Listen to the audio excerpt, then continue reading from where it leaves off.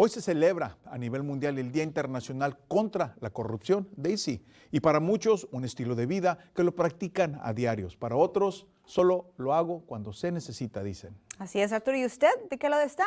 ¿De los quienes la promueven o de quienes están en contra de esa corrupción? Nuestro compañero Javier de la Rosa nos habla sobre las graves consecuencias que la corrupción genera en nuestra sociedad. Adelante, Javier.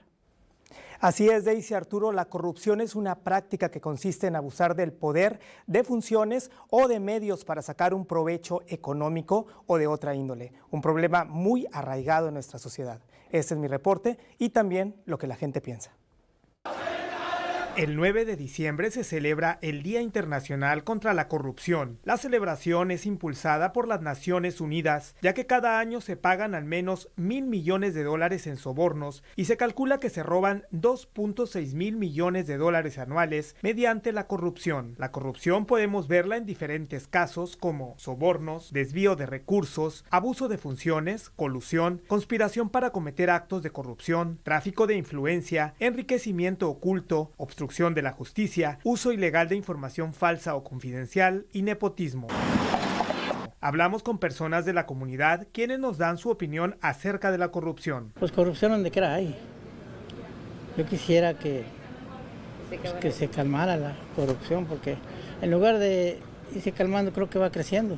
Que va a haber un cambio y que va a haber un cambio, pero nunca lo ha habido. No lo hemos visto.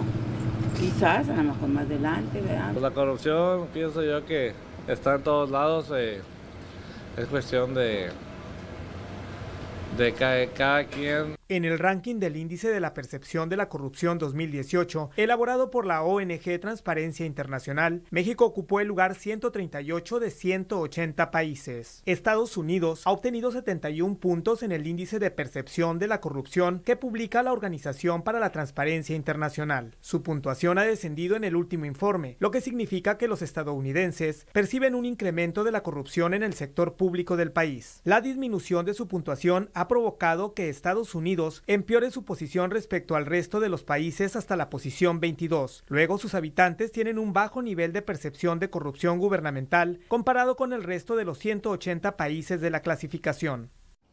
Al conocer esta información, ¿usted de qué lado está? Como podemos ver, la corrupción es un problema que afecta a toda la sociedad y las cifras son alarmantes. En el estudio, Javier de la Rosa, Somos Noticias.